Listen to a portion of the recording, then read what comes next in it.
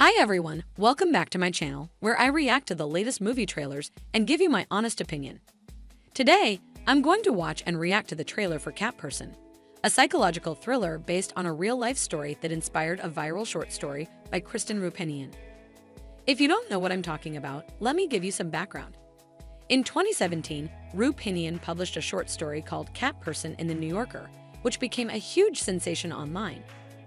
The story was about a 20 year old college student named Margot who meets a 30 something geek named Robert online and goes on a date with him, only to discover that he is not what he seems.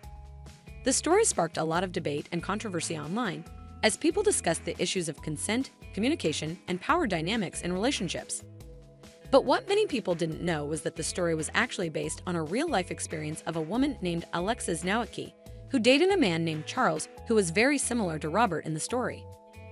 Nowicki revealed this in an essay for Slate in 2021, where she explained how she felt when she saw her life turned into fiction without her consent or knowledge.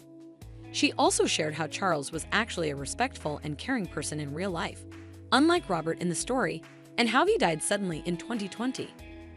The movie adaptation of Cat Person is directed by Susanna Fogel, who co wrote the comedy Booksmart and directed episodes of The Flight Attendant and Utopia. The movie stars Emilia Jones as Margot and Nicholas Braun as Robert. The movie premiered at the Sundance Film Festival in 2023 and received mixed reviews from critics. It will be released in theaters on October 6. So, without further ado, let's watch the trailer for Cat Person and see what it's all about. Wow, that was intense. I have to say, I'm not sure how I feel about this trailer.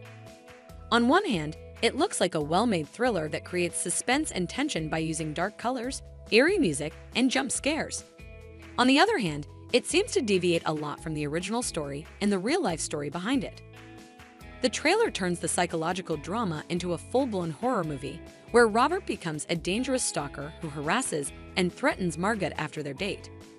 The trailer also hints at a violent confrontation between them at the end, which is not in the story or the real life story. I think this trailer misses the point of the story, which was not to scare or shock the audience, but rather to make them think and reflect on their own experiences and relationships.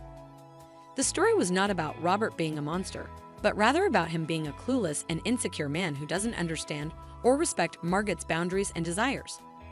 The story was also about how Margot struggles to express her own needs and wants, and how she feels guilty and ashamed for leading Robert on.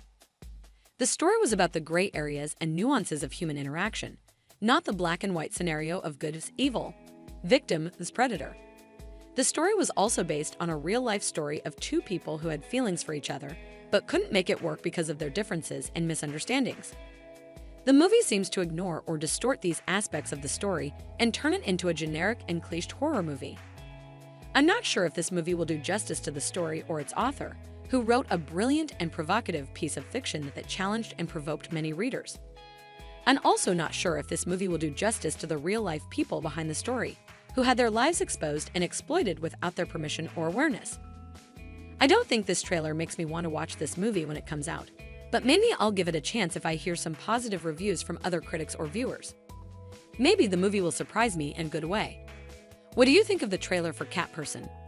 Do you agree or disagree with me?